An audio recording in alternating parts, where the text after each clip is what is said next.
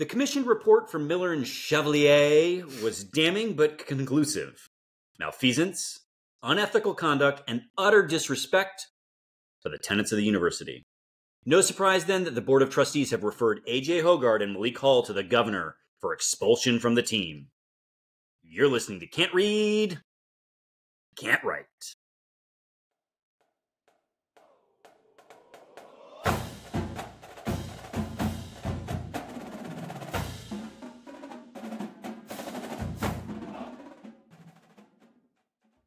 Welcome back, everyone, to another episode of Can't Read, Can't Write, the podcast that proves Spartans can talk.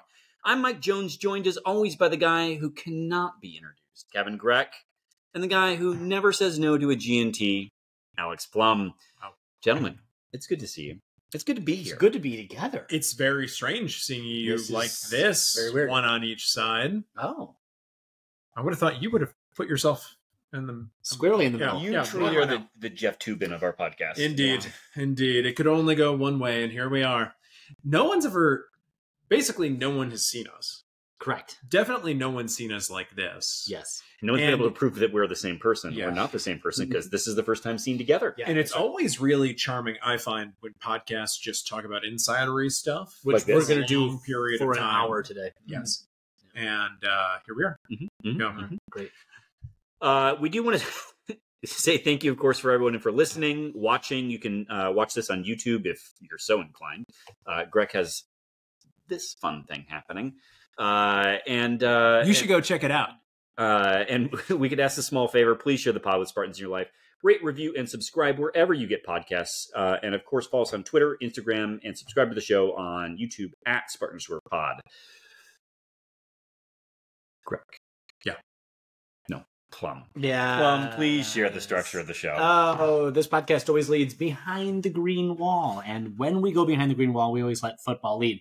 Unfortunately, today, we've only got beautiful things to talk about about basketball, the sport that never, ever lets you down. Frankly, we should be leading with hockey. Uh, but alas, we'll talk about basketball, we'll talk about hockey, we'll talk about our own board of trustees because they're not fucking everything up. we'll head off Grand River then. We've got news from around the Big Ten, uh, interesting stuff, NCAA, boosters, investigations, pauses, Congress, big things. We'll preview the uh, game when we play Northwestern, and that'll be an exciting preview, Preview. which Kevin always does a great job at. And extra It- prepared for today. it definitely Very- doesn't say Purdue, Purdue on the outline. No, no, called an audible there. But we'll end with your Twitter questions, which is why we know you're listening. All right, uh, let's head it behind the green wall, and of course, uh, we are. Yeah, I think basket or football gave us happy birthday tweets and an announcement about Big Ten Media Days. So let's spend an hour on that. Uh, More importantly, yes. But uh, yeah, let's talk about the Purdue game. And I think it's fair to say uh, it's well. So it's a game that Michigan State lost uh, seventy-four to eighty. Mhm. Um, How do you feel about that? Does that make you feel really good that you went on the road and you lost the number two, number three team in the country by six points? I mean that that is probably what you should take away from this game, right? we covered. That's right. that's and I and I great don't- teams cover. Yeah, that's they right. don't. It, great teams win by but Uh, lose but cover. Is that what it is? Yeah, I If think you're going to thing lose, you got to cover. Sure. Okay, There you go. I don't. I think we're moving the goalposts here. I, I, I Are we? Are we moving the goalpost? yeah. Well, It, is the whole team moving the goalpost? yeah, AJ Hoggard certainly is. I, I guess my point is this: we, we, if we had been losing the entire game, if we were down twenty at multiple points throughout the game, and we came within six on the road, Yeah. and they hadn't already, you know, pulled their starters or something, then maybe that's something to be proud of. This is a team, though, that has proved over the run of the season they can compete against the best programs in the country and beat them. We just choose not to. Well, that was what Malik Cole said. Oh my god! Well, all right. Let's. So before we get This there, is like an Inception episode. We cover Yeah. the end and then The end no, no, no, we kind work our of like right off the that. back. Or memento is not what what I meant to say. Greg, you you laid the table here uh, kind of nicely because I so that, I, um, Real mensch. being in Michigan, uh, I've been on the road for a handful of days now, Yep. and and I had this conversation with my father, who's sitting just off screen right now. Hi, Dad. Cliff. Uh, but the uh, about what would make me angriest, Mm-hmm. because in there is a world in which a win would actually make you angriest. 100%. But there's the getting blown out to Purdue, and it's like maybe then you say to yourself, "This is the team I thought it was." It's just Right? acceptance then at that point. In the in the bargaining, And- anger, So it's just acceptance. I'm not sure does winning make you would would a win have because this is a team that showed up in a way that they didn't the last two games because they would have blown out Iowa and Ohio State if And they Ohio State. played like this. Correct. It's it's it is actually respectable to lose by six on Yes. the road the Against a team like Purdue. Absolutely. wh- who has a big man who is the national player of the year last year and almost certainly will be again this year. Sure. Um, like. And we don't have that spot, right? Correct. Like so, and you saw a team Well, I that don't can do know. That's not true. We have a Oh, a big that is plus sixteen in the in the box plus minus, And averages and precisely Zach Edey was plus sixteen point two in the box plus Yeah. minus. So those are pretty comparable. So maybe we Mhm. do. Maybe we do. Oh. All right, we're gonna get to that in a second, but I do. I we chatted after the game. We don't talk about anything. I was not calm after this game, Mhm. I would say unwell. Ah, that's and good. and also if you want to talk about He was retching Yeah. after the beginning game. at the end, Yeah. I was angry that Tom gave up at the end. You're saying he Juwan Howard in the last six seconds, 10, ten seconds, 10 seconds. Yeah, they called off the dogs. They didn't do any Yeah. game extending Yeah. hijinks. No, because Because like Malik Hall, it was we were, it was just good enough. Yeah. We came and we gave it the old college try, guys. Isn't that good enough? I mean, we can talk about Malik, uh, but let- let's dig into that because there's a couple things that are the disparity in this game, right? So, I have one. Uh huh. Oh, okay, Mr. Ajay Hoggard. Oh Lord. Mr. University Wiener himself. Not strong enough. Uh my man, AJ Hoggard, uh, on the day. Yeah. Two for eleven from twos. And you know, I Long guess to you. long we're not there yet. That's the Tyson Walker. Uh we're getting there. Yeah, Um and only fifty percent from three, one for two. Um, but bro, basically didn't have it until the game was over. And when your senior point guard Yeah. goes on the road in a winnable game goes two for 11 from the floor, Yep. it is disqualifying. but let's. It, you can say that, but Tyson went five for fifteen. It's not like he had a a lot better day. That's true. But so then so then now put that experience or that statistic in the framework of an entire season. And I think you can forgive Tyson Walker for going five for fifteen in a game on the road against the number two program in the country. been trending down, but yes, well, fine, and and we have our own things with him, but but this is consistent for AJ. Mhm. Two for eleven performance from the field is what I've come to expect from him. Thirty three percent from the charity stripe is what I've come to expect from AJ Hoggard. this is what his senior leadership offers us. He is the worst point guard in MSU history. Well, No, no, no. In the Tom Izzo era, No, no, you're no. pre- you're prepared to speak about point guards you Yeah. weren't alive for. A hundred, there could be child predators who were point guards. Yeah. You could just go with uh, Uncle Murderers. Literally We, we don't have to make stuff up. for this. truly he's the worst and Tum Tum Naren just subscribed to the podcast. Thanks to you. Correct. He was just welcome glad you're here He's like, "What give up, us a Tom?" Twitter question uh i don't know what to say. I, I truly don't. Because i think at the end of the day the statistics are one thing. Deplorable. But I- Well, I stats are for losers. So. Fair enough. And we can't read them anyway. Um but i think more to the point is his utter inability. And this is where i, I want to go to malik so but i won't yet because i think we've got some more we're going to talk about. But this is where what's coming in the locker room what's coming out of the locker room what's being said to inspire and cajole and berate and hold the guys accountable to get them to perform at their best is not coming from aj hoggard and how could it? When his performance is this lackluster how would anyone respect a thing you'd have to say? Yeah. i don't know. That's that's my i mean that's my thing with aj and i you know so in these statistics we could talk all day. It's he, has to be as angry as at himself. And why no one will name him you know i i get why people don't use their names on twitter because it's the humane thing not to do. Uh, but I've refused now, and people should just start calling it out because he should quit. the the, the stats though on and I'm I want to pull it up now though because someone pulled this uh, you on know, look at the lineups. Twitter. Because again, we'll remind everyone Yes. and Tom Izzo that he promised to look at the stats per lineup this year. That was going to be But one of his. I believe he also said sort of his stretch goals. for losers. Uh, As he crumpled the paper up and threw it at Graham Couch's face. so uh, this made the rounds on Twitter. Uh, the uh, the box plus minus um, for a Hoggard Walker Sissoko lineup versus a Hoggard Walker Booker lineup. Now, 300 minutes played on the Sissoko lineup versus a mere 53 on the Booker lineup. Okay. But the plus minus for the Sissoko lineup is negative eight. The plus minus for the Booker lineup is positive 26. Yeah. At some point in time, there's enough of a difference Right. that you can say plus minus is a flawed stat, but like truly shove it. Uh, other things, uh, obviously, raw points. There's a differential because there's m- been more minutes by It's uh, fair.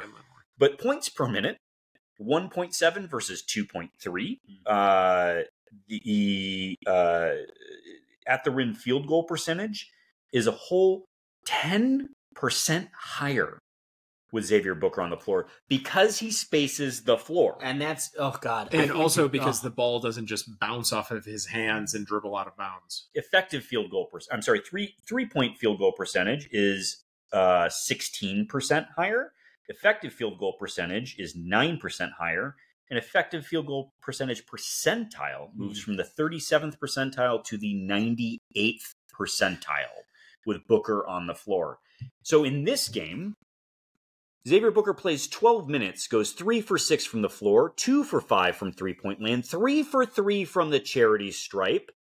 Now, 10%. does he pick up a mere 2 rebounds in 12 minutes? And does he get owned a few times on defense? Fine. Sure. Sure. But the problem with But this, you know who else got owned? Every other center. More Well, the point, actually- they didn't score any points. I kind of think Coop held his own better Yeah, than Coop- maybe anyone. Coop did play a good game. Uh, 16 minutes. Six Uh, Yeah, six points, two for two from the floor, two for two from uh, the line, but five boards. But, But his job is to sort of just keep Anti- Edey in check Yeah. as much as you possibly can. Yeah. I, I you were really upset in the we talk after the games. You were I invited. I don't get um, but uh, you were really upset about Booker not playing down the stretch again, and I I understand that, Mhm. but at the same time, I put this on AJ Hoggard Oh, oh, one hundred percent sure. That, I, this, with a little this is, di- sprinkling of Tyson Walker. this is different than the Ohio State game. Yeah. The Ohio State game uh, was on Tom be, for not Correct. putting Booker in. correct. this is a uh, I, I think more Booker, maybe not down the stretch, but just Mhm. generally speaking, more Booker would have been a net positive. Yeah.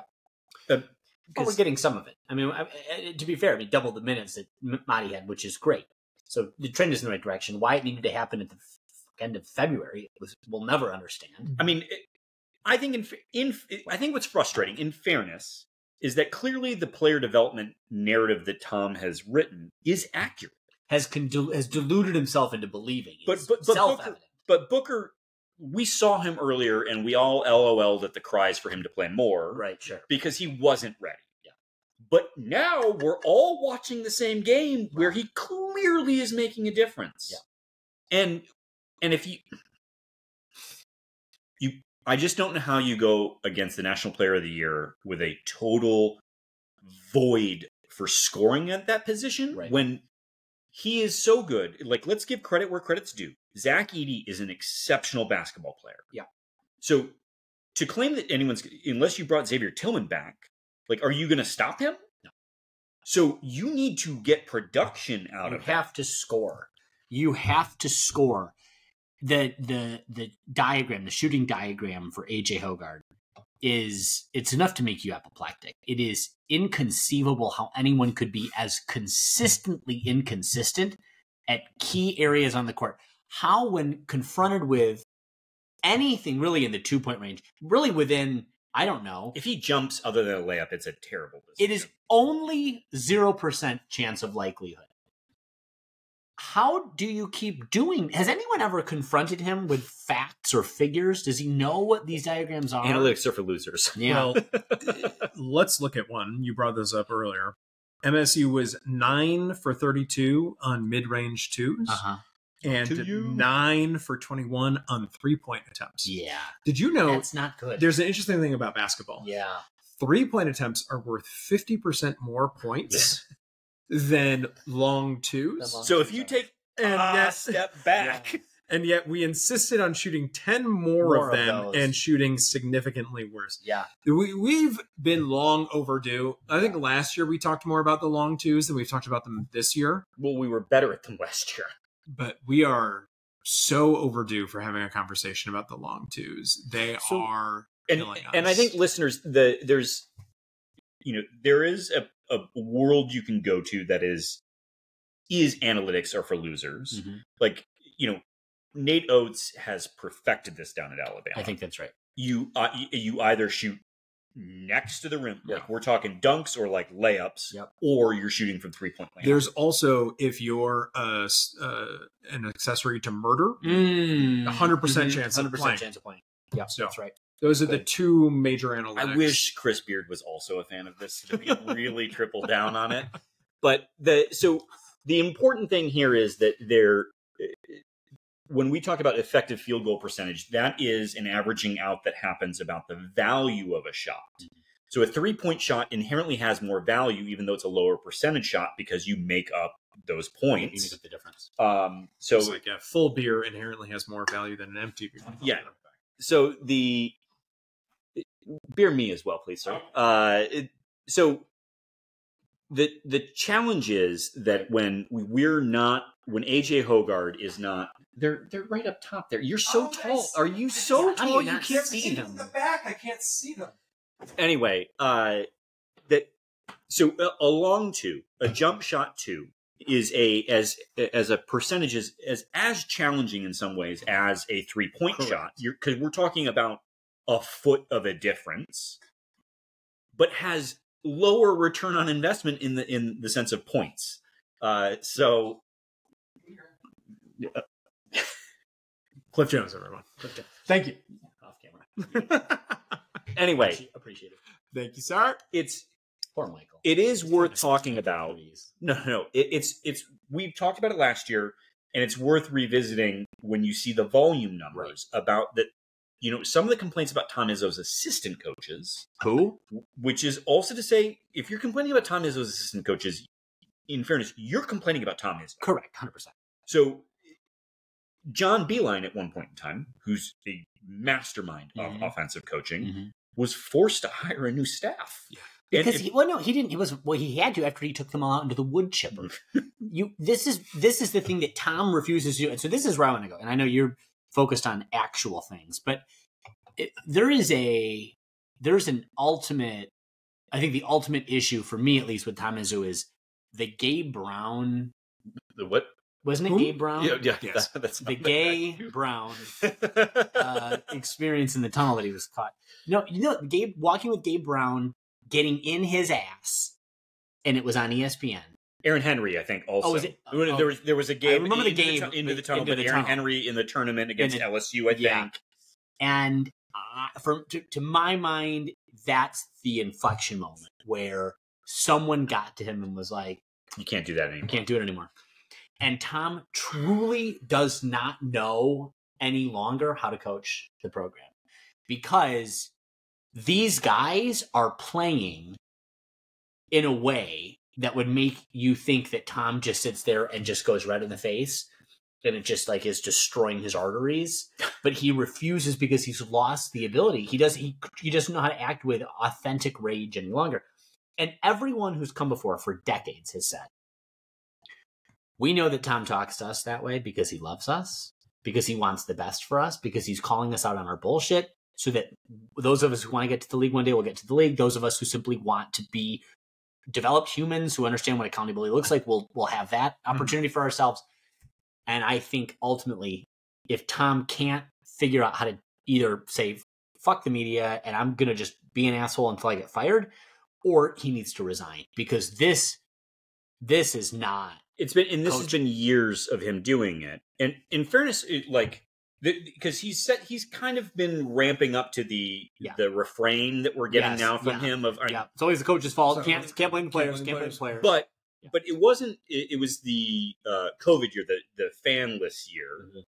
Uh, maybe it was maybe it was actually maybe it was the Cassius COVID year that uh, Rocket Watts. There there was a story that came out about Rocket Watts where Tom like laid into him, mm-hmm. and Rocket got all sullen and pissy, Mm-hmm. Yeah. and and Tom's like, "Are you pissed at me?" Yeah. And Rock's like, he's like, "Are you pissed at me?" Like Feel something. and, and he's like, yeah. And he's like, well, then say that. Yeah. Like, because it, the thing that's missed in in in these these moments that ca- are captured, and you see this with the development of players over the time. The the because you can see freshmen will do the the arm around Tom, and then he's like, no, you haven't Yes, earned You that. haven't earned that yet. But but there is still the consistency of if you think I'm wrong, Yes. then say Challenge- I'm wrong. Then challenge me. but like, and we can have a disagreement. Yep. But we're gonna talk through But you're it. going to come correct and actually be able to to defend your position.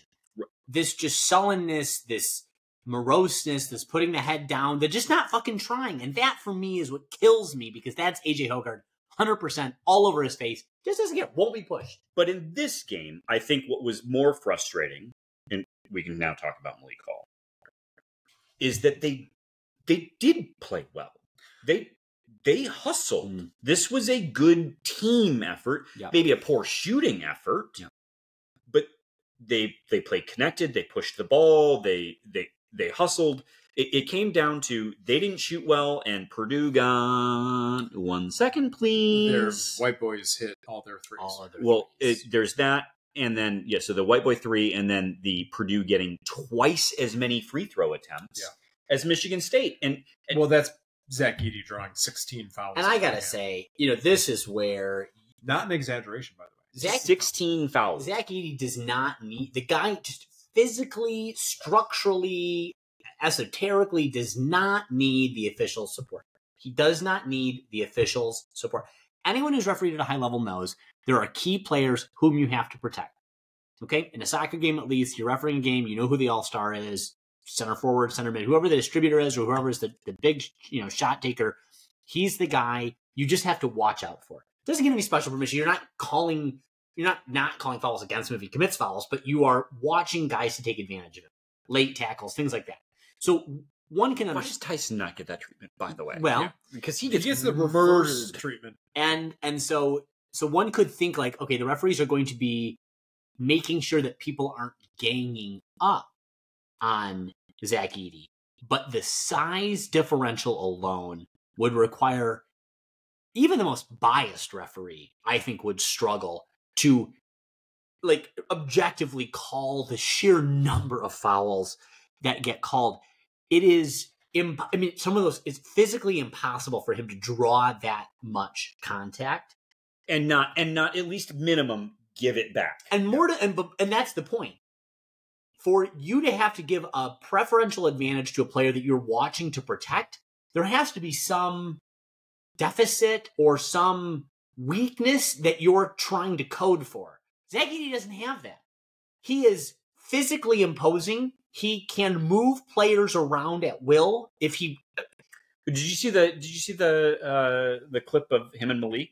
No. Because they reviewed this for a hook and hold. Oh, God. Uh, so it, You're talking about that. We can actually demonstrate this Oh, for do camera. so Malik is up, and then Zach Edey comes around the head truly, And and, Malik gets gets called for the foul. elbow in the face. And but Zach Edey's the one who's like in his chin, Yes. It, it was Yes. more. It was more like one of the up in there, and that's uncomfortable. yeah. Yeah. You I- like it? I don't know. It's it doesn't. It that's what I'm just saying. It's inconceivable. There there is one understands a certain penchant for protecting a key player. There is a completely other side of the coin though, which is he hasn't merited any of this. The kid scores so much. He it it, it it's just not intuitive. And the Big Ten officials this season have been uniquely bad, uniquely inconsistent, and uniquely bad. But they have been consistent on the season at being the sixth guy on the court for Purdue, and that is a, a, We saw Chris Collins get ejected for For this. being for like- calling it out. And he was right too. He should have called it out much earlier in the game. Uh, one final thing. Uh, I'm kind of taking the temperature of the room. Might be moving on. Yep. Last thing that bothered me about this game, I want Braden Smith on my team. Yeah. I don't like it that he's on other teams. Yeah, I want him on my team. He seems like a perfect Tom Izzo point guard playing at Purdue right now. It was another upsetting development Oh. of this game. It'll be a real shonda when they lose out in the first weekend. I mean, We have that. We'll hate that for Matt Painter and the team. yeah. Uh, I mean, it's. We're going to talk about this in a little bit, but it, it is senior night's coming, and It's gonna be a different kind of cheering on senior night. what's than but what's what's tough about it is that you know Jeremy Fears isn't playing right now, Mm. and I think Why? everyone's because he was shot. Uh, Uh, okay. I but th- there's the has that been reported? Yeah, I don't think so. some some companies don't like to mention it. Yeah. Uh, but the the I, I think at this point in time we would have seen Jeremy Fears start multiple games. I, that's fair. And it- what's going to be weird about senior night, Yeah. is that if this season had progressed ordinarily, Yep. We would have been. I, I'll speak for me. Yeah. I'd be a little bit more at ease about that transition. Mm-hmm. What is concerning is that I don't know, and none of us do, how Jeremy Fears is going to come back. Sure. And and you hope that he's the player that we saw. Yep. But again, he was shot, Shot in the leg. which I've heard a leg is important for playing basketball. Yeah, you got to run Yeah. and and jump, jump. from time to time. Yeah. Is there a shot, particularly from the two point range, that we enjoy doing with Well, the jump involved? Well, frankly, for him, then it won't matter because we don't need to make those ones. Yeah. we Those don't. baskets aren't we You're important. don't priming the fan them. base for missing all of those shots, Yeah. so that's good. Yeah, that'll be Good for you, Jeremy. You just come in and pay all that Whatever off. the fuck you want to do. So I don't know. I, I, it- we've seen from AJ Hoggard though that at some point in time this can turn on, and maybe when the lights are bright, like that's what happens. Uh, did he? What, how are his assist stats? It doesn't matter. It does matter. Four, I think, on the game, but Jesus. yeah, it's not good. But I got something I really need to complain about. 'cause I don't think I've complained had no enough. game. Let's go. Let it rip. Wisconsin was the superior hockey team on one of those two games, and our hockey team should be ashamed of itself Uh, yes. Let's neg them in. for having dropped that second A- game. any games. Why? Unacceptable. Why? You won the first. You one. win the first Yeah. one, you lose the second one? You win the first one and clinch the, the Big Ten championship, which we're all very excited Sure. about. Yeah, but let's focus on the second game. Get excited about it because if you can't win the second game, you might as well have lost the first game, Yeah. which means you didn't clinch it, which means we haven't earned this Right, championship. right. You clearly phoned it Phone in. it in. You thought I'm It going to shows rest on my laurels. Uh, of one- one laurels. It shows a lack of toughness. I'll It's tell you what- unbecoming of a pro. Let me tell you this: if And- there's someone who should be fired into the sun, It's it's nice. Adam Nightingale. Yeah. Get his ass out of the program. What has he done? If you can't win against me, I, I Wisconsin, I, you know? I don't know. a top ten, Yeah. top ten hockey know. team. I don't know. I don't know going. about Shameful, frankly. I wish AJ Hoggard played hockey so that we would have Have- we would have a more I'd more more appropriate yeah, hockey team. yeah, You know, yeah. If AJ Hoggard was on the hockey team, we'd have lost both those games proudly. Probably. And then Malik Hall would have come in the next day and been like, said you guys. "Yeah, well, we give it a We gave shot. it a Give college it a try. That is. We didn't Yeah, actually end up talking about Malik and his quote, but that's fine. We Uh, kind of We'll round back to it. I'm sure there's going to be a Twitter question. we about can bring it up. but we're gonna asinine a lot things people say. quotes when we get into the board trustee stuff, and we can just slip it in there somehow. So, uh, it, but in, in sincerity, uh, MSU hockey, it- as much as you can raise up from the grave, Oh has God. done so, Yeah, that's winning right. a Big Ten championship in Adam Nightingale's second year, No, unbelievable. uh, and it looks to be, knock on wood, looks to be a uh, a one seed in the NCAA tournament. Potentially. Poten- potentially, like you'd like to see a quality performance in the Big Ten tournament, which we will be hosting. We all the that games can't for that. hurt. Yep. That can't hurt over at Munn Ice Arena. And That- that- include, if the seeding holds, Mhm. the higher seeds win, another game against U of M at Munn in the Big Uh-huh. Ten tournament. That would be a real shame to, because guess what, folks, we've got some things to say about U of M's program off Grand River, uh, but it'd be great. It'd be great. Uh, so congratulations, and and I guess it's maybe worth revisiting This now makes multiple non-revenue Big Ten championships that have been accumulated in the last Yes. few years. Not all of them, as much as we've been praiseworthy of uh, of, of Alan Haller, not all of those folks have been Alan Haller hires. Give Mike Rowe is Beekman- not. Give Beekman the credit he deserves. Yep, Beekman hired uh, uh, Mike Oh, Rowe. Uh, Jeff Hosler, the soccer program.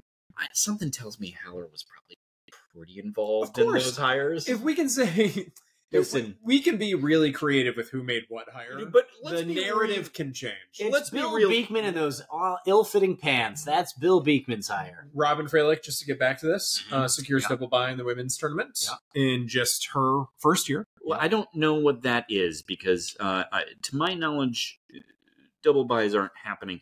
There was a double bye on the table Uh-huh. for Michigan State men's basketball, Hmm. and then they um, they, Took it they, they Basketball shit their decided- pants. Oh, that's what it was. Instead of kissing the Spartan logo this year, they're going to shit on it. Yeah, in a real they should. Cleveland steamer But. AJ's still going to kiss that pile of shit at the end for whatever reason.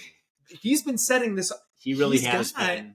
What's the Yeah. what's the philia when you're? Scatophilia, Scat- or yeah. isn't it? He's been setting this whole Yeah. season up for this Yeah. moment. Now it pays off on him. It pays Jeff back. Wily son of a gun. He was playing us the whole time. I like Right, how yeah. primed you were on scatophilia, both of you. Next up, uh, we've got some Speaking of scatophilia, the board of directors. trustees, as it Oh, were. board of trustees, as it were. That's a, you're going a little too close to Yeah, home on that one. uh, no, I love I love my board. Love my board. If you're listening, love my board. Uh, so who who wants to recap this here? Go ahead, Kevin. Yeah, me. I should do the law related thing from the law firm. Oh, right? what Miller and Chevalier? Chevalier, Cheval, Chevalier. So, uh, devotees of the pod will recall that one Brianna Scott levied some accusations against a, a couple members of the board of trustees. Then, and it is then, Chair Rema Vassar and Dennis Denno. Yes. So, the university, to the tune of several hundred thousand dollars, greater than half a million, uh, went ahead and brought in a third party counsel to, to investigate these A findings. firm I've never heard of. Yeah, it's strange that this is the time that they go to do that. There were some because the first nine firms were like, "Da, no, no like, thanks." But we have the punch card. we, we've come to you you have to say yes. so many investigations. You have to say yes to this. uh, some of these findings were found to be false. Um, Eh, basically, Rema Vassar can be made a pawn in a advertisement for Brian Mosallam, and that's fine. Yeah. Because and they should have just put this in the report. I, I encourage you to go read the report, but they did a lot of like hand wringing over this. But the truth is, it just doesn't matter, and Correct. that's why. Yeah. Like you have to be so up your ass to think this one page, you know, uh, Glossy, advertisement yeah, in is gonna Crain's Detroit Business slash the LSJ is going any to difference in affect anyone. anyone. Yeah. But it is stupid for her to be in it. It's Um. But It I think be. some of the more interesting things in the report is that it was found Yeah. that both Dennis Denno and Rema Vassar participated in um, bullying and Yeah. uh, conduct unbecoming of being trustees. Sure. We know this because meeting with student groups, Yep. they were recorded Duh. coaching student groups Duh. with how to complain publicly about the administration and encouraging them to uh who was his name the uh the chair of the, Jack of the faculty jack lipton Faculty thank you faculty simpton uh you know to go to the press about how he is actively racist because Can I say this? a If you're going to coach students, this is for anyone at home. Yep. If you're going to coach students on how to uh, undermine the people you hire to do the job, at least give them factual information. This was the real humdinger for me. Uh, Rema Vassar actually giving false, inaccurate information to the students. we It's- talked about it- it is as if you were setting them up for failure. So make the students fail at the work you've set them up to do to undermine the people that you hired to do the job that you're accountable for seeing gets done. yeah she told them that What? the administration had lost msu its accreditation which was untrue Not true. Uh, she also put someone up at Wayne State for sending uh, uh, Trustee Scott a letter with featuring a racial slur and some other you know Mhm. pejorative terms, uh, delivered from a Wayne State Yeah, that's pump yeah, envelope. Yep. So ridiculous throughout. Um, and then there was this, you know, so so basically, these two are the worst. Um, and there is a particularly good quote in here that Yeah. I, I I'd like to to read um, about the two and about their conduct. Interviewees noted that quote concerns around the fear of retaliation are mainly from Vassar.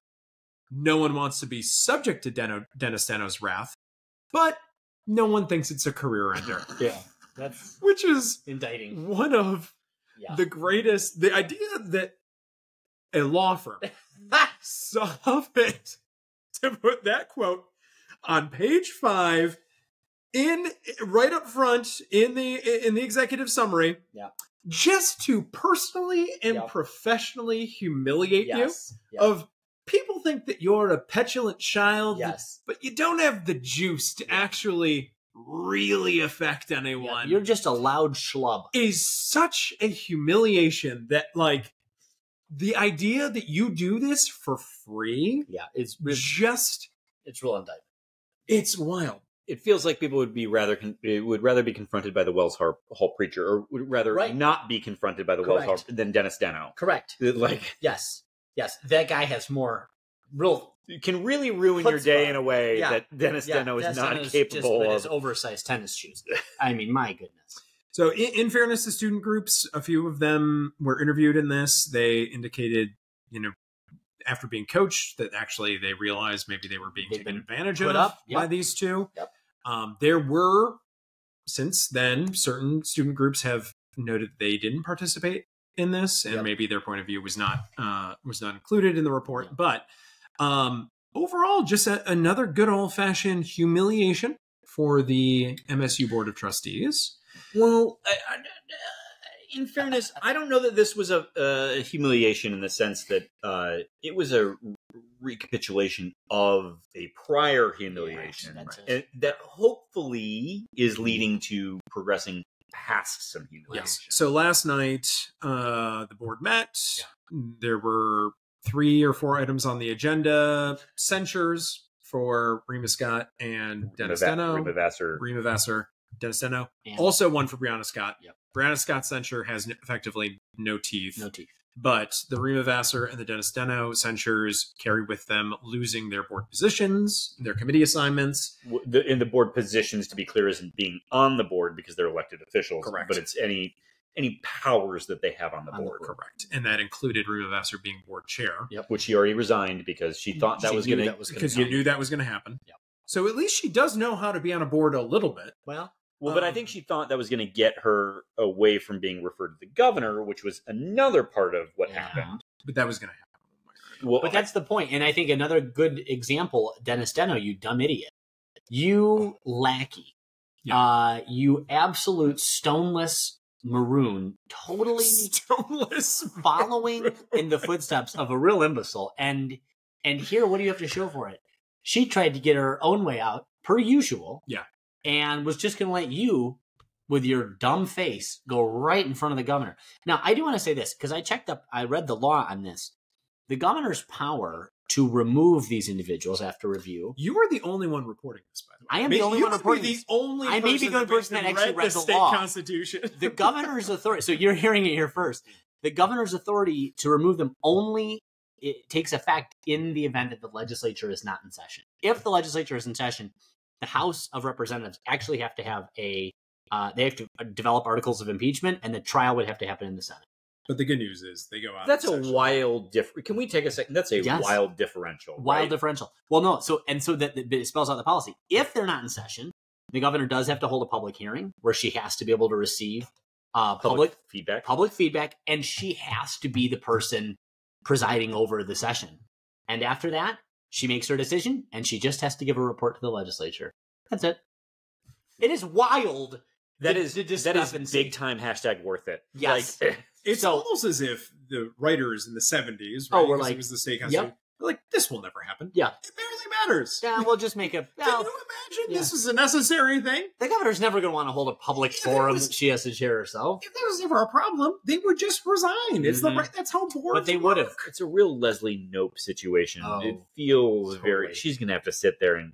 But Yep. that is the right answer. Yep. Um, All right, let's move on. Uh, I don't know what to say beyond this, other than the board is embarrassing, and uh, Truly terrible. Uh, I'm thankful for these changes that are coming. Uh, but we should shout out some things before we move on. We lost. We did it. We did. We did. We did indeed have dinner, and I think maybe there's a knock on the door from the purveyor of of of said I've place. said dinner. Uh, but we we dined at Mama's Merc and Tile and Eatery this evening, and it was fantastic. Irony. Beverages are on the menu. Literally, folks, the knock on the door as we moved into this was from the owner herself, Mama uh, herself. and uh, and it was fantastic. Uh, cannot recommend the signature cocktail menu menu enough. Quite good. Will be tweeting it out, um, but it was really truly fantastic for the evening, uh, and cannot recommend. it. Listen, they've got the Lan- they got a Lansing favorite. They have an olive burger on the menu. Yep. All right. So if you peanut barrel is not your style, what's the one you took me to? Dagwoods. Dagwoods. If the Dagwoods, which well, Dagwoods is the kind of like oh, Maybe if you've had too many Dagwoods and you want to Yeah. just You you, wanna- just want to mix it up a little bit. You want to go down on 127 and then Yeah. over on 94. Yeah, if you're in the Grass Lake area, Yeah. you know, get your olive burger from Well, in the Mama's greater Market. Ann Arbor area, I'm not aware of an olive burger. In the Well, how Sure. could they? Yeah. No, this is a special treat. This is a this is a slice of East Lansing in Washtenaw County. You owe it to yourself and your family, progeny. Even Your progeny. To You get- owe it to your God. Yeah. get your ass to Mama's. uh, but it, it- yeah, in sincerity, great food, great food, uh, lovely vibe, and the drinks were fantastic. Uh, we would normally shout out listener Mike Jones, uh, but I think tonight we're just shouting out Miller Lite To and the Miller and Lite Cliff's Gin and Tonic. and Cliff's G's and T's. G's and T's. We'll come back next week with some listener Mike Jones liquor. Uh, it's always fantastic. Uh, but listener Mike Jones did say he's going to stop by Mama's Merc. So, Next time he's in Grass Lake. uh, all right, gentlemen, let's talk off Grand River, and I'm going to step away as you all talk about Jon Sanderson. So Jon Sanderson, for folks who don't know, is the well, was let's use the past tense here was the strength and conditioning coach at the University of Michigan uh, for the men's basketball program. In addition to the men's basketball program, though, he also coached uh, or conditioned rather athletes for several Olympian programs. I didn't realize this. Michigan has an Olympian. Yeah, it's annoying. It comes up every four years, and they're Mhm. like, "Oh, we have more, Olympian. we have more uh, medalists than uh, Belize." Well, It's like, great, yeah. Next, we're so proud of you. no one's proud of them. I I'm I'm struck by this. So he has resigned from the university. Uh, Yeah. Theoretically his choice. He signed Uh, a no, he says specifically in Well, his statements, yeah. this was not, Not my choice. choice, He did sign a non-disclosure, so he's apparently able to at least disclose that much. well, the the email got foiled. So Oh, is that what yeah. it was? Well, let's let's hope that he has made just an absolute fuck ton of money because he deserves every penny. And I know nothing about this man, and I don't really care to. Um, but what uh, is alleged to have happened Mhm. Uh, in the course of this investigation on the documents that were FOIA and everything else, Sanderson, the strength and conditioning coach, oversaw Jace Howard, the son of Michigan coach uh, Juwan Howard, if we can call him a coach. Yep. Um, uh, berating one of the other trainers. Jace has been out this season or for some time anyway with a stress fracture. Right. And uh, berating the training staff. I should be in now. Why aren't you clearing me? And then raising his voice, getting very agitated. Jon Sanderson, you know, interjected himself and said, you know, young man, calm down. You are a student athlete. He is a professional. This is not how student athletes speak to professionals. Right. Uh, that response was enough to set Juwan Howard into one of his into a rage. full unhinged moments. In fairness to Juwan Howard, Yes. I think what happened there Mm-hmm. is he had a flashback Mm-hmm. and he said, Mm-hmm. "Is that Sanderson?" Yep. Is that the Mark Turgeon? Oh, the Mark Turgeon. Oh, I can see him. I can so mad at Mark Turgeon. Oh, the Mark Turgeon. Oh, I see the Mark Turgeon. He's so What. I want folks who are watching to know is that we haven't been able to see the alter ego that Kevin Gregg adopts when becoming When I see Mark Turgeon. when becoming Mark Turgeon. when, And, I see, when I become Juwan Howard, seeing Mark Turgeon. Oh, the Mark Turgeon. Oh, it's really upsetting. And uh, boy, God, he gets upset. Mark Turgeon, Greg Gard, really anyone that he can slap or throw a fist at, he Mhm. will. Well, as as he did, he pursued Uh, Jon Sanderson across the room Uh, they had to be separated. had to be physically. separated, uh, restrained. Of course, Jon Sanderson like I was going to hold my own, so that was his own. He is a big dude. Well, he's a big guy. He played basketball. Played something. Something at Ohio State. and um, and there were Yeah. some there were some emails that went back and forth. Uh, Warde Manuel here um, was able to. Uh, He was like, "Well, let's enforce Juwan's "Let's enforce a zero, zero, tolerance, policy." We're good at that here. He was able to do that by signing a NDA with Jon Sanderson and releasing him with, I hope, millions of dollars. I bet not millions of dollars, Well, but let's sure. say Strength hundreds coaches of make a lot. it is wild that this is the product. Of, this is what happens with a University of Michigan zero tolerance policy. But not only that, you have a you have a coach who has struck multiple people, Yeah. who is fucking deranged, Yes. Who cannot coach, whose only success has been on the largesse of John Beilein's suc- of su- success, his ability to recruit and develop talent, and and and coaching ah. one of the worst programs in this in Michigan's history. Yes, I love the largesse. Well. the largesse. I am Oh, thank I am unable to say anything really for Warde Manuel other than cuck. Is there another word? Is there another word for Warde Manuel? What- uh, What's worse is that he's been he's he's a cuck to multiple men. Oh He's my a- god! He's a cuck to Yes. Santa Ono. Yes, Cuck Swan. to Juwan, He's, he's a cuck to Jim Harbaugh. who's left, but he's still cucking him. It, I, I, Warde Manuel has no sense of integrity. He is a person bereft of really any sense of self worth. Could you imagine going through life being Warde Manuel Can we, right wait, now? can we can we take a pause because I think it's easy to take a dump on Michigan and and Sure, it's it's, it's fun. well earned and fun. But could you imagine if this conduct Mm-hmm.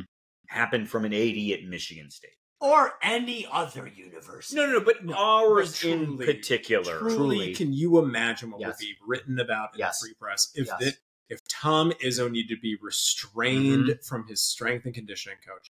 or My another coach in the Big Ten. God. Or, uh, you know, Many of these things. Because- On camera at a game, he struck a man in the face. and and yeah, because because Tom gets it for going after a player with Uh-huh. intensity. Yeah. Which, by the by, there are zero reports of, or any indications of Tom Izzo striking a player. Ever. Did, I'm Ever. sure he says some unkindly things to them. no, I, I bet I bet that it's all very it's all very delicate. Mhm. What's wild is I don't It's just know that I've ever seen him go after AJ in that way, and people who need it. But right. that's not But the- that's not. This isn't the point. but it, I, it truly it- for Ward to keep his job and and it like it- it feels in line with what we've seen in politics. Yeah. Of the if I just don't say anything, Yeah. Mhm. nothing's gonna happen. Yes. And he's living that life. Yeah. Because it he he got bent over by Harbaugh three years in a row. Correct. And then uh, there's the uh, w- well, he took the shame. Yep. Just ate the shame for what happened with Mel Pearson. Yep. Yeah. The whole hockey. Uh, the uh, Juwan Howard. We've moved to it. Well, first there was Xavier Simpson, Jeff Jackson, whatever his Yeah. name is, with his car. His wife's car. Oh. is- speaking of Oh, yeah, no. truly, truly. But but then there's the zero tolerance policy with with, with Juwan. Like uh, this is, and then Santa Ono regularly debasing him in public. undermining him and at every step of the way. Yep. I just Stealing the thunder. Yep. and and it feels at some point in time it, w- actually frankly the santa ono stuff makes it seem validated Mm-hmm. and i just it, which means that ward doesn't actually deserve the blame here Hmm. it's not ward Yep. it's the trustees it's the alumni Yep. it's your students It's it's your your, fan base Yep. it's your president it's everybody who has so it's Enabled it- this idiot. so u of m fans if you're listening Yeah. I actually blame all of you because you are actually the pieces of shit You're a rotten institution to the core. because you tolerate this because it you, all you say Leaders in the best. is we just want a natty so who cares Yep. That's right. No standards. Speaking of which, should we talk about Josh Gattis for just a hot second? Oh yeah, why not? This is one rumor that Couldn't we hurt. never trafficked in. No, no, no, no. So the rumor was Yes. there was a well populated rumor. This was almost like what do we what do you want to call it? This was like just accepted fact. Mhm. This was this was Chris Allen, Darrell Summers' girlfriend Mm. type. Oh, and, boy. and and it and it seemed like it, but it became accepted fact because it, it, folk it- truth or uh, something. Yeah. Michigan That's good. Folk fans needed to rationalize losing out on a recruit, Right. despite the fact that the recruiting is taking a nosedive despite all of their success. Sure. But Can't imagine th- there's a, uh, a a recruit now player Xavier Worthy, um, well, now in the NFL combine. Yeah. now in the NFL Combine, uh, who Michigan did not land. Mm-hmm. And the rumor was that, again, well trafficked to the extent that it became uh, apocryphal. Mm. Mhm. Uh, we'll find this word eventually. Yeah. that, that is, that, I believe that's the appropriate use. Sure, Okay. okay. Um, This is your whole job. I, uh. I think it's the polite version of wives' tale, right? Oh. Like apocryphal is that we're not going to gender this nonsense. It's Mhm. just it's uh, sort of lore that begins That's from- why I don't know it. That's why you don't know it. yeah, misogyny only. Everyone. Yeah, that's right. Uh, but so um, it- yeah, so that that Josh Gattis slept with Yeah. Xavier Worthy's mother, Just got. and that's why Xavier Worthy didn't come Yeah. to Michigan. Which, in- looking back on it now, I think we can all agree feels precisely like the thing they would say to justify not landing a recruit. It's also something that we've talked about before. It's like this is what these types of rumors always are. Yeah. Like, oh, Always sleeping with the oh, recruit's yeah, mother. something, something. we're not going to dissect the racial component of this either for a Mhm. moment but uh the so josh gattis finally chimes in Yeah. and says a no Yeah. b i have some stories to share about Yeah. the way recruiting down went down at michigan which seemed to be the implication was are in keeping with Yeah. some of the violations that they're that the actually- NCAA is actively investigating them for. And he didn't say seems to be violations. He said, "Do y'all want me to talk about the violations?" Yes. As i in, have receipts there are violations. He even said that the rivals guys know what all of the violations are. So, uh, which is fun because the Michigan rivals guys are real annoying. Yeah. Just carrying that water for the institution all over the place. Because and it's do that. worth remembering because it, uh, uh, I know we've at times used things from, and it's not to say that there's an apples to apples, Mm. but we've at times used things from, say, uh, Justin Thind or Who was uh, interviewed in the Miller Ah. Miller Chevalier. Chevalier. or uh, or Corey Robinson, uh, Stephen Brooks. We've talked about his tweets at times, It- but it is worth remembering Yeah. that many of those people who are paid by those publications are not Yeah. journalists. Sure. I, I, I, you know, I think Stephen does a really great job of trying to be, you know, a, a journalist who covers MSU. Mhm. Um, but the, I think maybe it's a bit worse over on the U of M side Yeah. than what we've got over here. But it is worth remembering that when you read things from folks who are from Rivals or twenty four seven or uh, on three, that like because let's not pretend that Jim Comparoni is as insightful as he can be at times. Yeah. isn't a jabroni just like the three of us. Yep. And so he may know a bit more about X's and O's, but like, uh, so the idea that rivals would be sitting on information is not altogether alarming. Yeah. Yep. They're Anyway. not journalists. Anyway, All right. Anyway, Josh so uh, Josh Gattis throwing receipts around, and also Warde Manuel. Wouldn't you believe it? talking about throwing things around. Let's talk about Caitlin Clark throwing her own body around. Well, we're going to celebrate her first. All right, here, let's do this quickly because we this is Yeah. All right. so. Let's find some time back during the Caitlin Clark segment. Yeah, no, it's it, it's needless to say, uh, Caitlin Clark uh, passed Pete Maravich, and that's a massive accomplishment. Well, to Uh, a new scoring leader in college basketball. And I believe uh, she found out someone called her Ponytail Pete. The uh, the the image is.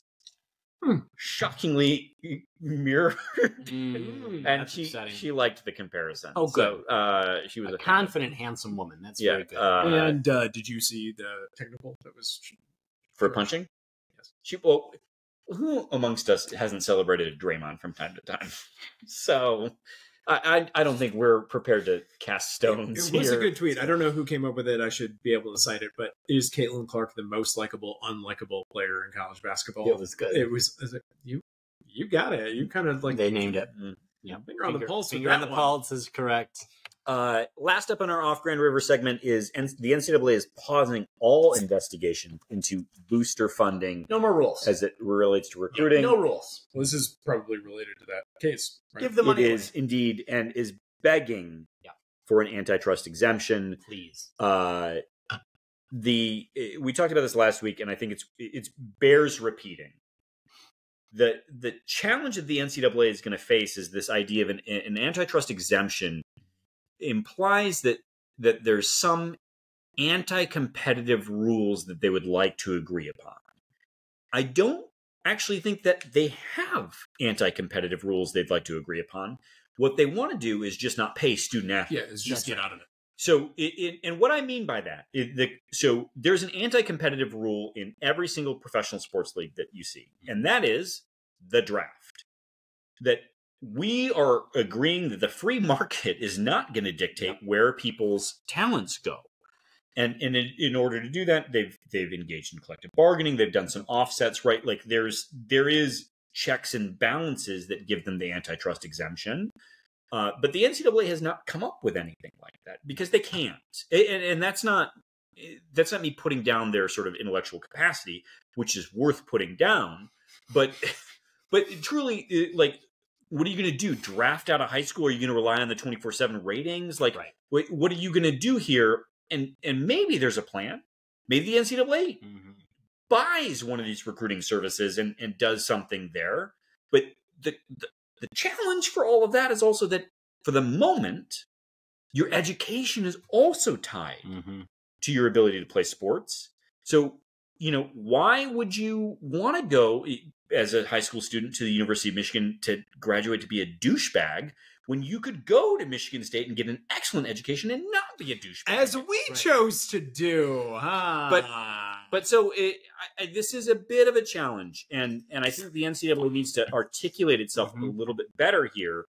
But this latest sort of sad, pathetic begging on the on the on behalf of Charlie Baker, Yeah, just to debase himself. like Congress, please, but you need to say what you want. what you want, and he can't articulate a clear vision because he doesn't. There is not one. There is And one. and, and and credit to Charlie Baker, he's the one who proposed the like, oh, schools can fund. Like he's at Yeah. least trying to give some progressive answers here. Yeah.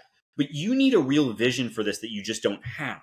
Yeah. And so eh, I don't know. Like this is, I don't know whether we said this on the pod, but you made this point about the the NIL that if the school started paying players, that doesn't stop your boosters. right, there's nothing about this that's going to stop the boosters from doing it as well. Why is Mat Ishbia not going to continue to cut Right. a check just Yeah. because MSU cuts a, a check?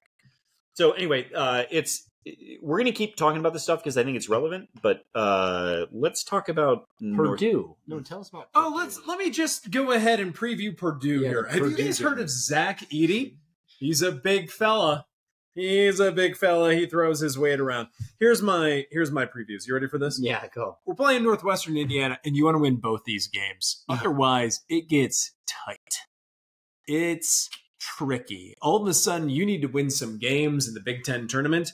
And I got bad news. Uh-huh. We already lost to Northwestern. Yeah, And the other game is on the road at Assembly Hall, yeah, never a good place where we don't tend to win. Correct.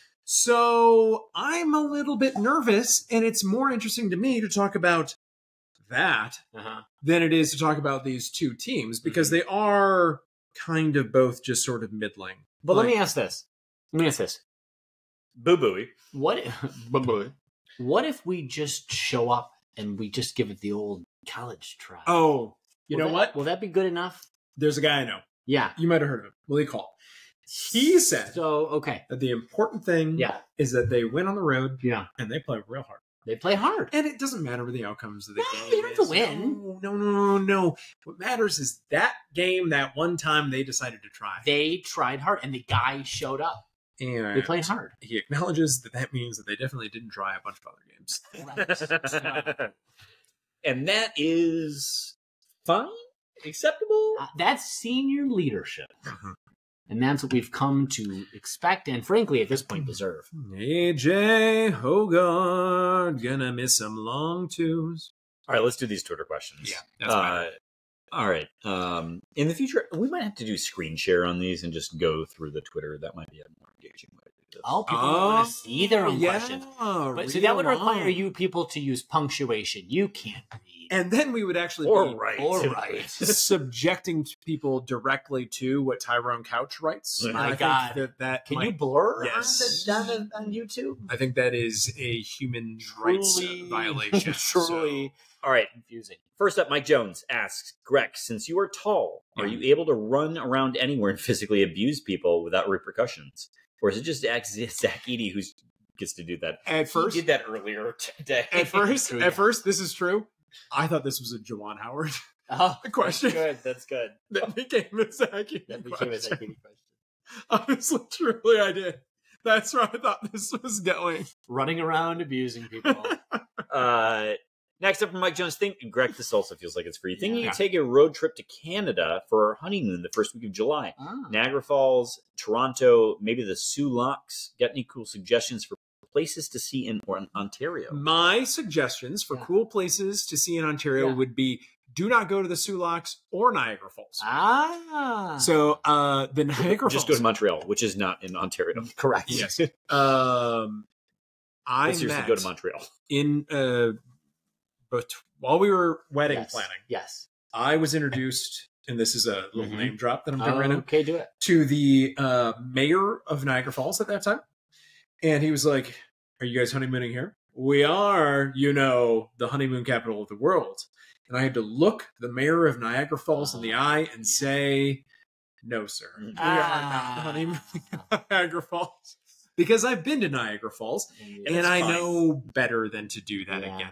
No, Mike Jones, you want to go to Hamilton, and you know why? Because you're a Canusa alumnus. Where did we go to Interpol at? Was that Hamilton? That was London, London. London. another place that you don't want to go. that you to go. So I would recommend go to Toronto Yeah. and then maybe Just cottage sit- Just country. stay there. Get your ass no, get your ass to Quebec. Come on, you get yourself to Montreal, enjoy it, eat the poutine. You're gonna have a better time. That would be I, uh, Mike Jones, either cottage country or Montreal. Those Yeah. are my recommendations. Yeah. Next up, Beth Amaro is having only one player in the NFL Combine a further indictment of the Tucker era. What's a reasonable expectation going forward? Can we take any satisfaction that our one guy scored better than ten of U of M's in the U of, U of M's eighteen in the Combine? Uh, so Isn't we more of an indictment? On of- Tucker. Yeah. that- Oh, it is. Oh, no, think no, I think so. this is on D'Antonio Yeah. still. Oh, on D'Antonio. This is Oh, still is on it? D'Antonio. Like honestly, two years of Tucker. Listen, I mean, no one was saying Three. that Ta- that D'Antonio was performing well toward the end. I mean, this was this has been the indictment. So, I mean, what we should be expect we should be expecting these guys to have developed in some way. We think Tucker was I going to I guess that's them. fair. I guess that's. It's a bit. Of, it's a bit of column A, bit of column B. Maybe. Yeah, I don't think that we should be surprised. It also hurts that our best player from we the season before this went Yes. to Florida State and is doing Yeah. quite well in the Good combine. guy. So Yeah, but I do uh, look. Um, but it's for him. worth remembering that yeah, uh, uh, Blake Corum is slow, and That was really good to see. it was he's slow, Mhm. and, and I, I I don't know what his his test scores were. The the quotes coming out of the combine, by the way, uh, there was one quote that came out about not believing in planets. That was a Texas A&M player. No, I think it was doesn't believe in space. Yes, Not sure about space. wasn't sure about it. Didn't know about space. Yep. Space, time, anything else. That's good. Next up, uh, another guy that doesn't believe in space, JD underscore Jerbear. Uh, does Greg also have a hard time in his annual reviews with management, not knowing how to properly rate him? Hmm. What with the long arms and the whey protein powder meals and all? yes. Talk talk more about your annual r- performance reviews. Here's how my annual performance reviews go. I walk in. Yeah. I sit down, And they think you're normal sized because of the camera. and they scream in horror. and they're just so alarmed at me and my visage and yeah, yeah, pale chest. Undo more. yeah, that uh, they're just like, just leave the room. Yeah. whatever it takes, Whatever score you need, whatever we'll we give need to do. And that's how it's done, and that's how I survive in the corporate world. Yeah. It's Jensen. working. Jensen Next up from. Jerry Bear, uh, more excited to see done with Big Ten basketball, Zach Edey or AJ Hoggard. Can we throw Boo Booey in here for Yeah. funsies? It Because is- There's only one answer. truly the worst part of COVID is all of these players sticking around for so long. And the thing is, I don't. I think we're all being naive to suggest that AJ Hoggard, we are done with him. Oh, Which is to say, Oh, I'm not. no. Uh, nope. Hear Oh. me out. okay. You know whose team doesn't have a point guard? Truly, Illinois does not have a point guard. Please stop. I, I'm just saying. Please it- don't. I think AJ Hoggard is done at Michigan State, but I don't know that he's done with Big Ten basketball. Let me say this. Let me say this about that. I have said on this podcast countless times that if you don't graduate and finish your playing career at Michigan State University, Not you are Spartan. not a Spartan. Nope. If he goes to Illinois, nothing will make me happier than being able to say that he is a failing Illini and that But he will have kissed the Spartan. well, that's Well, if he no. comes back in orange, Yes. he has to reverse kiss. Yes, has to reverse He has kiss to- it, He has to be like sort of a face sucking situation. Because- A tenant situation. We've got a tenant situation. Finally, got back around to ten. got a tenant reference. Next up from ZX Zanders.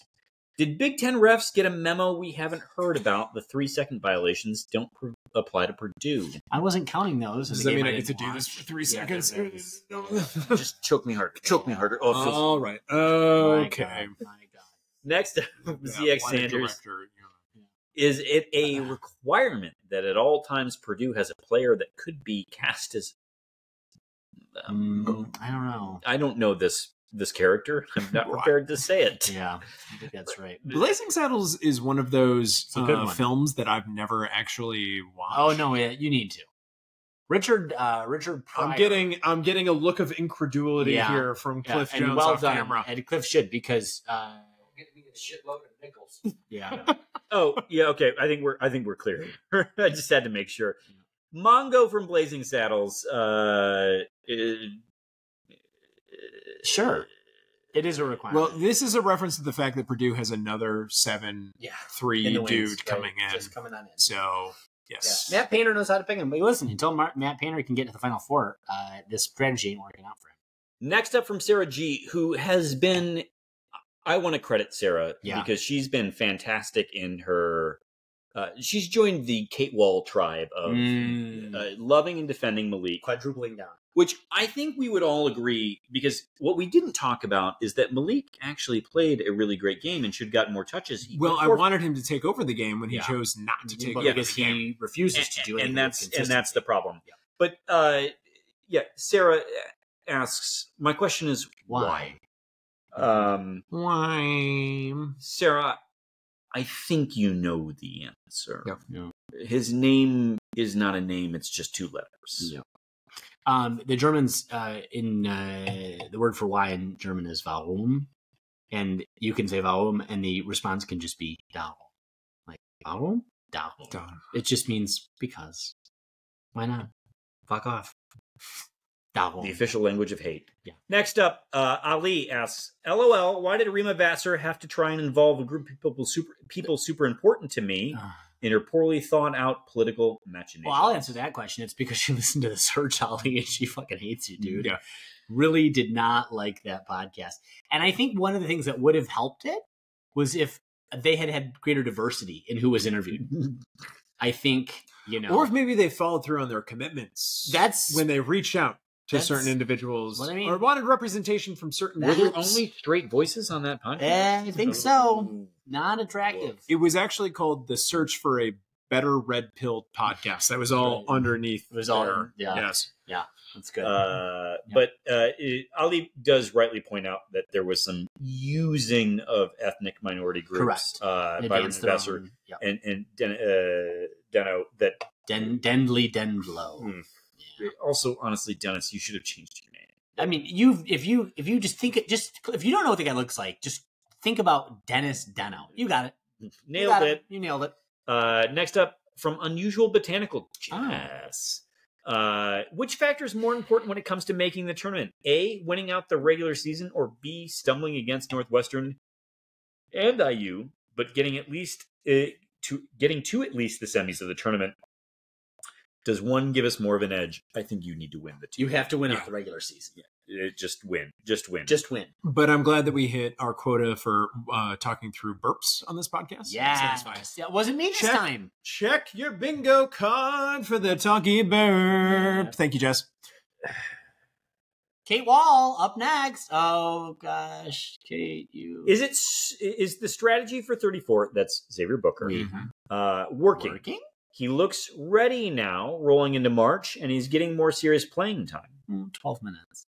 Yeah, uh, Kate I it it ha- it has it has worked. Sure. That's what's frustrating. Yes, and more to the point, I think let's not say do this. Let's not call this a strategy. That's really giving Tom and his ilk uh, more credit than I think they've earned. I think there is a strategy. It's just the incorrect strategy and an out of date strategy. it's a strategy that's not being updated for new information as it becomes yeah, available. Data was meaningful at So- one point about three months ago. Yes. So I think it is. It's it's a choice, Mm-hmm. as the kids say. Yeah, As they tell me. they've said this. Um, it, she she adds. Uh, sorry, uh, this is my fault. Uh-huh. He should have played more than he has in every game so far. I'm only saying that he is uh, saying what's been done was one possible way to prioritize his growth. Uh, I I don't One know. and in parentheses, please don't yell. Uh, yeah, and and I don't know that we would have said that he should have played more in every game. No, it's I just don't, no, no. lately it's very clear he's Yes. ready to play. Yes. Um, next up from Kate Well, can you name two players on the team? Obviously, Tyson is one. Uh, you trust more to get a crucial bucket or just a bucket in general over Malik. What does it say about the dependability? Attaching a random tweet for no reason, and I Didn't include your tweet, but uh, uh, I think oh, it was one of the responses to Sarah G uh, about her, which is that Malik is shooting a super high percentage, and Mhm. and and I think Well, and again, it's easy to shoot a super high percentage when you're not shooting very much at all. Yeah. And I think that's the critique that I would have for Malik as a senior on this team in a program who needs guys to step up when Tyson's having a flat night, when AJ is having a shit night, that's every night, when you can't get things rolling. Malik has to be the guy that is willing to take more of those opportunities. So, sure, okay, good shooting percentage.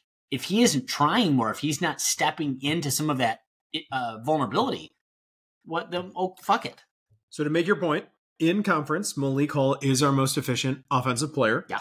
And is shooting 54% from three. And it's a product of only taking wide open threes. only good So threes. it's almost as if there's an inherent flaw in this question Correct. and that No, no, Malik no, Hall will not not take the shot at the end of the game. She's not talking about that. I I think it's uh, crucial buckets. Like there were in that last five four minute stretch against Purdue, there were they were all crucial buckets. Right. Yeah. And so that's on Tom and that's on AJ for not setting up plays that involve Malik on the low block. Yeah. The the the fact of the matter is, uh, Kate, to your question, I don't disagree. The the problem is is that either the team isn't setting Malik up for success or he's not seizing the the opportunity in, in those moments because I will take Malik post touches all day All long. Yeah. And and so I don't know who that's on, but the the fact of the matter is that Malik Hall with eight shots against Purdue is not enough shots.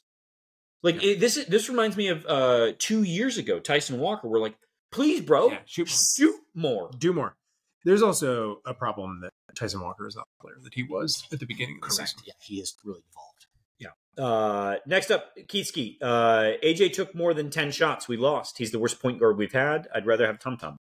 You heard. basically podcasted this. Kiski, sometimes we should just have you on to do just I- our. You don't need Yeah, any Here's, more. here's the thing about Tum Tum. If we had a five, Yeah. I would co sign on that statement hard. There it is. But we don't We have a scoring don't. threat from the five. Yeah. So I can't quite authentically agree with this statement. Yeah. all right. If you had if you had Nick Ward on this team, Fine. Great.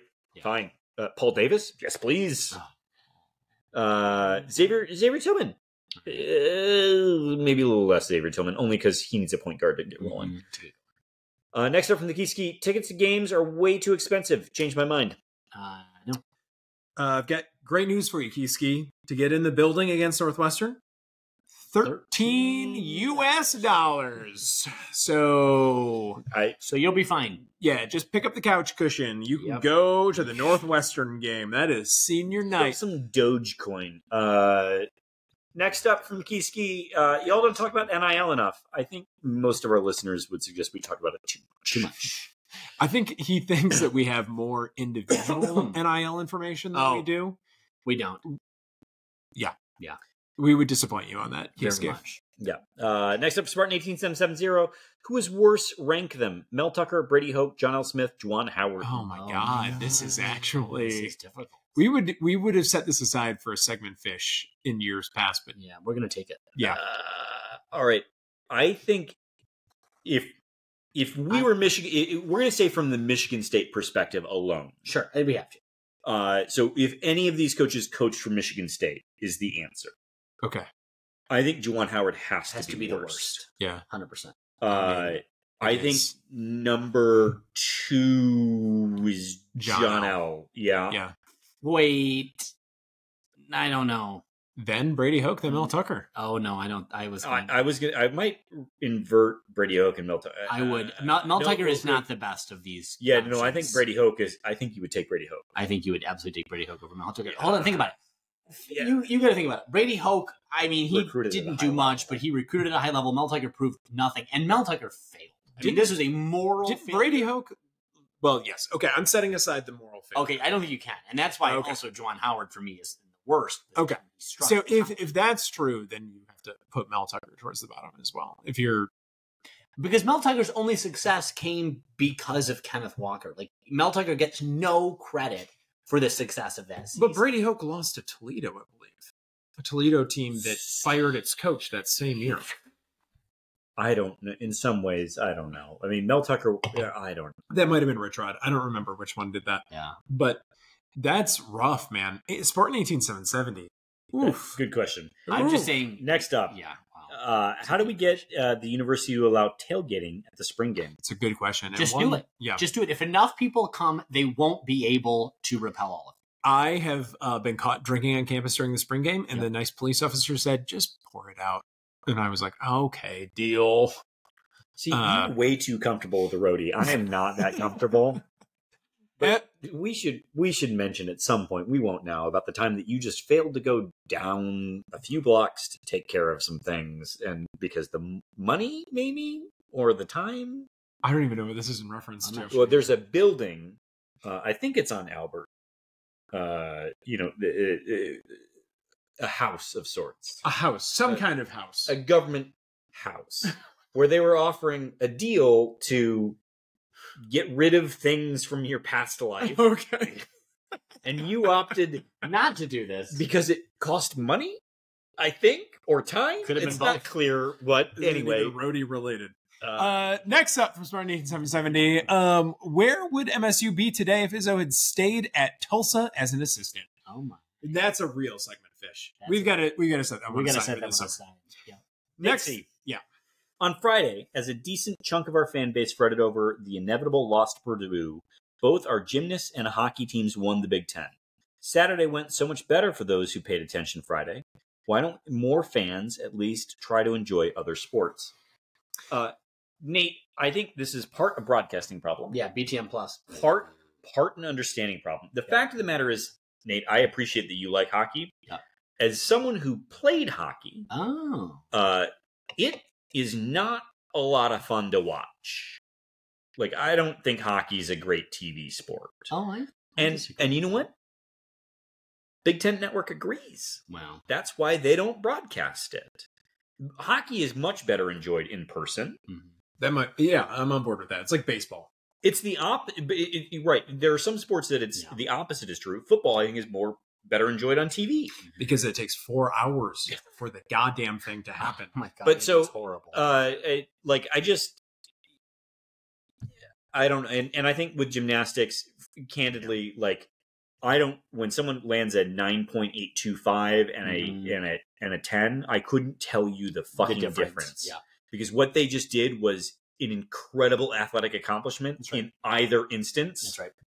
And and it like with, with figure skating, unless someone biffs on a on a loop, like do you know It is fun when they biff, though. it is? I like a biff. Love a biff. Love to, love to see him bite the bite the mat. Uh, Nate, your second question is really a rehearse of the first. So we're gonna go right to Beppe Plum. Wait, hold on. Uh, no, I already read it. Uh, I was sick this week, Beppe writes, so I got nothing. Other than they have found the likely spot of Sodom and Gomorrah, and there is evidence of a flash of heat similar to an atomic blast. So, don't make God mad. Now you know. Mm, okay. This is you. That's for this me. is your territory. I mean, listen, I'm not gonna. Are you, do you know about this flash? I don't. of I heat? got, I'm gonna look this up. You don't even know about this flash of The heat? atomic flash of heat in Sodom and Gomorrah. got to be a bathhouse. Next up, rant of the week: government funding Ha! and expectations. How can you cut funding nine years in a row and be upset that students are not growing? Remember Michigan schools in the 90s? They were two plus years ahead of Tennessee schools. Now they have fallen behind. Oh, Sad. God. Soon you'll have an awful accent, y'all. Yeah. Yeah. The real tricky part of this is even even communities that vote for mills to Mhm. put more funding in the schools still falling behind. Yeah. So as well, much as I I, mean, this is a, and by the way, this, and we're not going to, we don't have time, but this is a bipartisan failure. Mhm. The Democrats do not have a better policy. The Republicans want to strip all money out of public education. Yeah. In, indefensible. The Democrats beholdenness to unions, and particularly when there is, there's a complete unwillingness to really, not just means test, but to really think critically around what public education strategy has to be. No political party has figured this out, and they, it is a full race to the bottom. And Michigan is Yeah. real proof in the pudding that we have got inept people I mean that was running this this a better way of saying what I think I was trying to say, which was like throwing money at it. Yep. Does Isn't not gonna seem fix to it. actually Correct. fix anything. yeah, it's a mix of accountability and funding, and neither side really wants to get right with both of those. Next up from Mamopoleaf. Uh, Lansing. Uh, we should apologize. Sorry, Raymond Chains. Mm. I didn't get a uh, notification. Oh, okay. Yeah. So We didn't didn't- check. We didn't check, but My it- bad. But it might be your fault still too. We're not sure. Uh, okay. Next up, Mamopoleaf. Uh, LSJ, I refute most of, quote, I refute most of the allegations in the Miller Chevalier report, said Denno. Hmm. I will accept a censure, but contest any other form of punishment. What has been proposed is overly punitive in nature, end quote. So some is refutable, air quotes, uh, uh, and he decides punishment. What do you say? oh, Uh, he's an idiot, Susan. yes. Come on. I mean, uh, uh, this is one of the true. On one side, the way that we choose trustees, Yeah. you get people yes. that are giving it their all for one, Yep. whether it's self-interest or because they care about the university. Yep. But it self-selects out people that understand how a board should function, Correct. and it self-selects out people with better things to do with their time. Yes.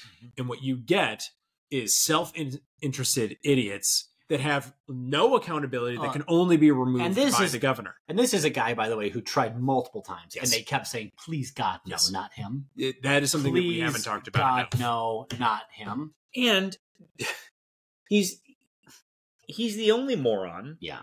Who didn't make any of his data available to the investigators. No, Rema too. Neither gave their phones to the Oh, well, investigators. Rema did in the first investigation, Ah, but not this one. the but yeah, in in the first one, Denno's not, and, and so the I think it was Jones Day. I think it was Jones Day. Okay. Did the report, and they're like, well, as far as we can tell, the leak didn't come from the board. Notably, though, we didn't get to examine one jabroni's phone. Yeah.